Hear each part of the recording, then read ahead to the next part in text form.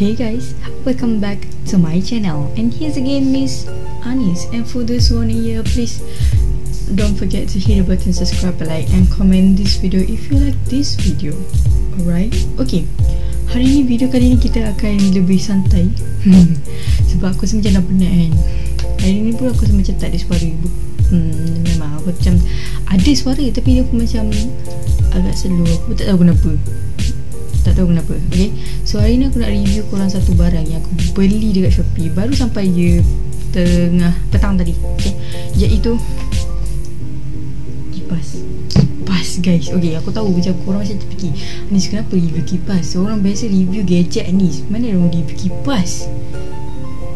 Kenapa? Kenapa? Sebab aku rasa macam benda ni berguna dan sepat, sepatutnya korang tahu. Cik, wah tak adalah. Dan aku rasa macam benda ni sepatutnya dikongsikan. You know kita kita share rezeki. No no no. Kita share benda-benda yang berguna dekat korang. Why not? Baiklah. So kita buka okay? Okay nama oh tengok ni. Dia tulis. Nampak tak? Thank you. Focus focus oh, dia susah nak fokus lah dia kata thank you for purchasing this Yes Fan Product hmm. Okay, nama dia adalah Yes Adorable Mini Fan Memang adorable gila Aku tengok dia Aku tengok dekat Dekat Shopee tu Ya Allah comel sangat Okay So dalam ni dia ada kabel Kabel dia agak Aku rasa panjang Cara dia ni macam panjang je kan So dia adalah kabel uh, Micro USB Nampak tak? Nampak tak? Nampak tak? Nampak tak? Hmm, payah lah Okay Kamera ni susah Dia adalah Kabel lah Kabel putih. Aku suka dia bagi kabel putih. Macam bukan Bagi aku kabel putih nampak cantik. Banding dengan kabel hitam lah. This is our little hero. Okay. So kita punya kipas kita Dibalut dengan perfect. Sebab ada plastik. Hmm. So cute So cute. Comel lah kenalah dengan nama. Mini apa mini adorable mini fan ah kenalah nama kalau kalau tak adorable tak payah tak adorable. Okey so nampak ni? Dia kecil je dia besar. Nampak tak tangan aku yang macam okey dia sebenarnya besar-besar ni je. Yes dia just separuh tak sampai separuh punya tangan. Okey lebih separuh sikit lah. Apa ni cakap ni? Okey so tengok eh. Cuma ya Allah Ni tapak dia. Okay aku order warna pink tau. Tapi bila aku jumpa ni Dia macam Aku macam terfikir Ni pink tu Aku tak tahu macam nak explain.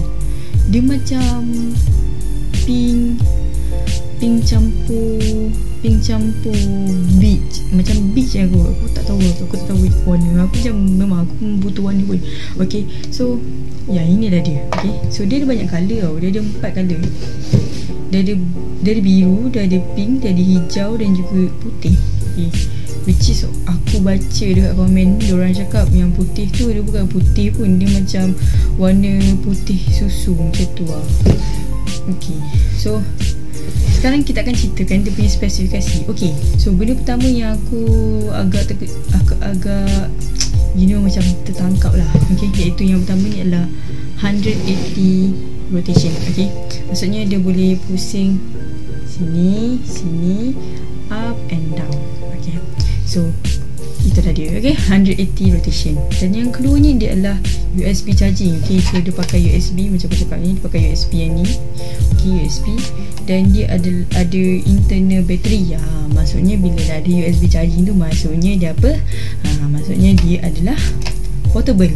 Okay dia boleh bawa. Kau boleh charge dan kau boleh bawa pergi mana lah dan nextnya dia boleh um, bawa sesuai untuk bawa pergi camping dan juga kegunaan indoor lah outdoor dan indoor. So which is bagi aku macam come on lah normal. Ok so Ani saya akan tunjuk orang apa yang ada dekat sini? Ok yang pertamanya dia ada ni dia ada button tau sebenarnya. Ani start macam mana nampak kan?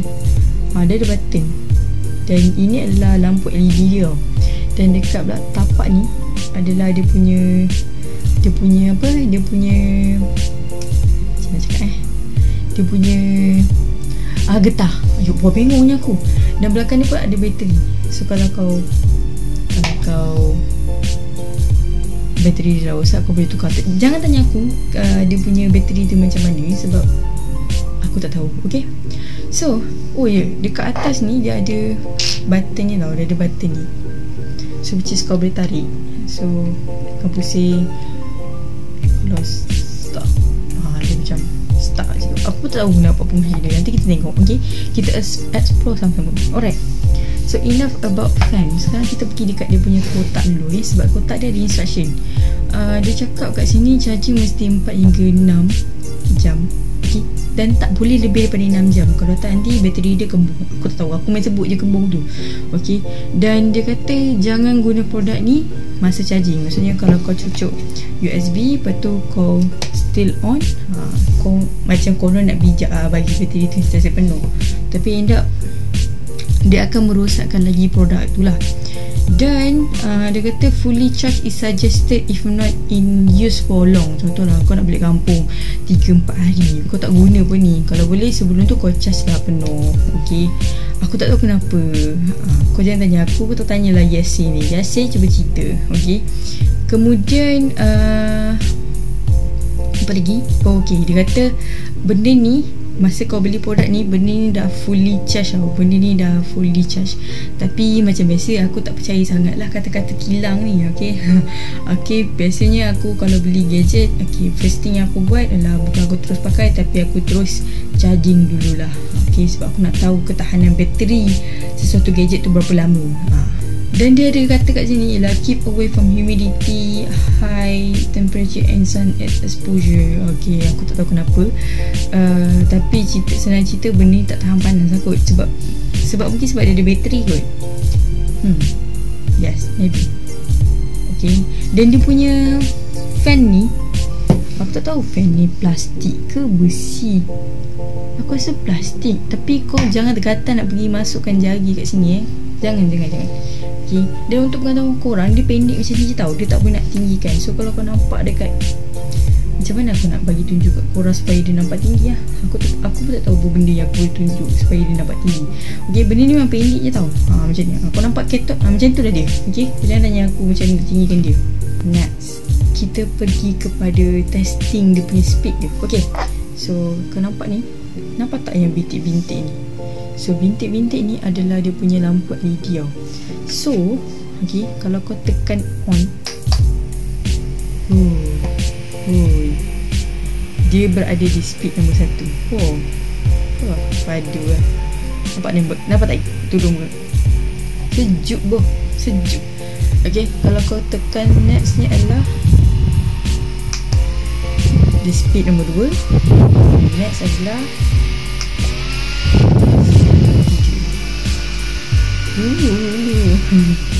Okay So macam korang tanya-tanya Apa function uh, tombol dekat atas ni?